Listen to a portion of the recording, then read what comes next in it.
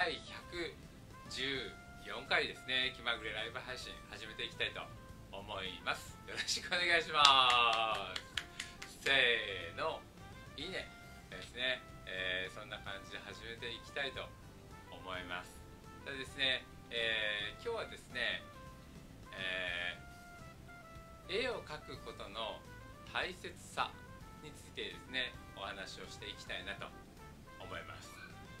でこれこれはこれからねライブ配信はできるだけ朝にね、えー、やっていきたいなと思っているので夜型からこう朝方にね、えー、シフトしていきたいなと思って朝方にこれからライブ配信をしていこうかなと思っています。でですねこのテーマに何でしようかというと思ったのかですね、えー、この私絵が描くのが好きなんですね。でこれなんで絵を描くのか絵を描くことのメリットについてね3点にまとめてお話をしていきたいと思います。おあゆっちこんばんあおはようございます、ねえー、朝早くから見てくれてありがとうございます、えー、このね、えー、メリットですね。じゃあまずは1点目からいきたいと思います。これはですね、え想像力が上がるということです。絵を描くのは真っ白なキャンバスの中に自分が描きたいなと思ったものをですね、えー、描いていくので線一本一本を描く時にはこのイメージがないとですねなかなかこのペンが進まないというかねところがあるんじゃないかなと思ってこれを繰り返すことによって想像力えー、ってるんだろうか？とか、えー、表情はどんな表情をしているのか？何をその人は見ているのか、ねえー、どんなセリフを喋ってるような、えー、ものを書こうとしているのか？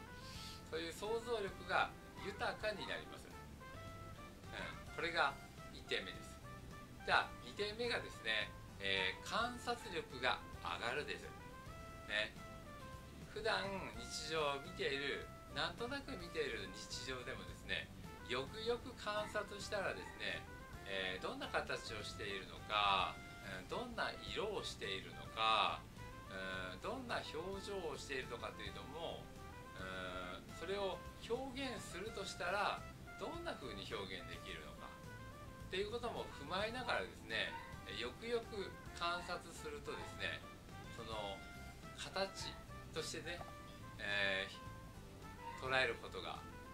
できるようになってくるんですね。やっぱり人っていうのは興味がないものをね 見えないようになってます。目の前にあるんだけどもその表情を表現するためのポイント。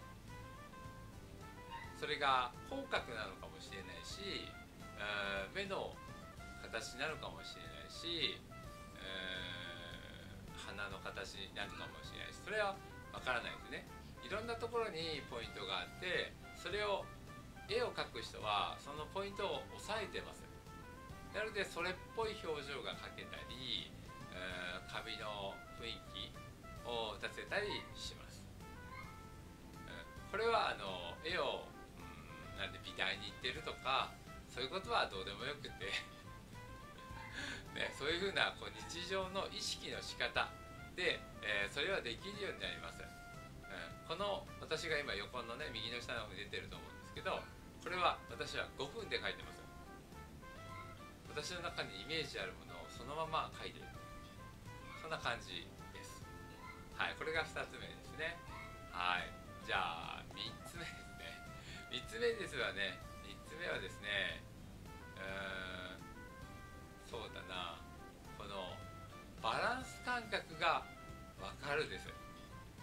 絵というのは、えー、線の集まりなのでその全体像をですね、えー、のバランスが崩れるとですね不自然な絵になります、うん、それとなんか首がやたら細いですねとか、うん、鼻がやたら、うん、低いですねとか、髪の毛が自然な感じがしませんねとかこのバランスを描くとですね、えー、絵としてこうなんだろうな伝わりにくい絵になっちゃいます、うん、最初の1本の線を入れる時にもうゴールのイメージがある。全体像が見えているので、まあ、ここに線があるよねと。ここにいないとビビって変だよねみたいな。ね。そういうのがこうバランス感覚としては分かってきます。するとですねあの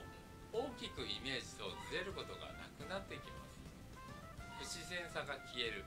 いわゆる、まあ、自然な表現になってくるってことですね、うん、これがあの絵だけではなくてですね日常も私は一緒だと思っていて不自然な感じ全体像をつかんでない人って不自然な行動をとるんですよ、そうすると何かおかしな状況に陥ってしまったりうーん何かそうはそうなってほしいとは思ってなかったんだけどもなんかズレにずれてですね おかしな情報に状況に、ね、なっちゃったりするんですね。おナオミヤンおはようございます。ねえー、それくらいですねバランスってすごい大事なんですね。この全体像をつかむってことです。特にこの真っ白なキャンバスに絵を描くっていうのはバランス感覚を持たないとですね。いろいろ自由がゆえにですね、えー、自分の表現をしするのが、あのー、躊躇したりするんですよね、うんどういうふうに書いたらいいんだろうっていう細かいとこを意識しすぎると絵は描けなくなります、なので全体像をまず把握した上でですね、えー、自然な形を目指してですね描いていくことによってバランス感覚というものが身についていきます、ね、そうすると日常も絵もですねしっかりつながっているのでえそこもなんか一つのことにとらわれずにですねそれをどう日常に生かしていくのかという視点持つことによっていろんなことが変わってくるのでそこも意識してみてください。はい、これあのー、私はこれ宣伝宣言になるのかもしれないんだけど私はあのー、2冊目の絵本を書こうと思います。それが本当の友達の2なのかもしれないしオリジナル作品になるかもしれませんそれは分からないんだけども書くことは決めました。なので、えー、それがいつ出るかはまだそこまでは決めてないですけど書くことだけは決まったので、えー、必ず今年中には出します。それが冊子なあのー、本という形なのか電子出版という形なのかはちょっと分かりません、うん、でも出します。なので楽しみに待っててください。はい。そんな感じで短いですけども。今日はそんな感じで終わっていきたいと思います。皆さんがですね、えー、今日も豊かで、えー、健やかに過ごせることを心から願ってですね、えー、楽しんで今日一日全力でやってみてください。はいそれじゃあ皆さんいってらっしゃい。ありがとうございました。また見てください。YouTube チャンネル登録もよろしくお願いします。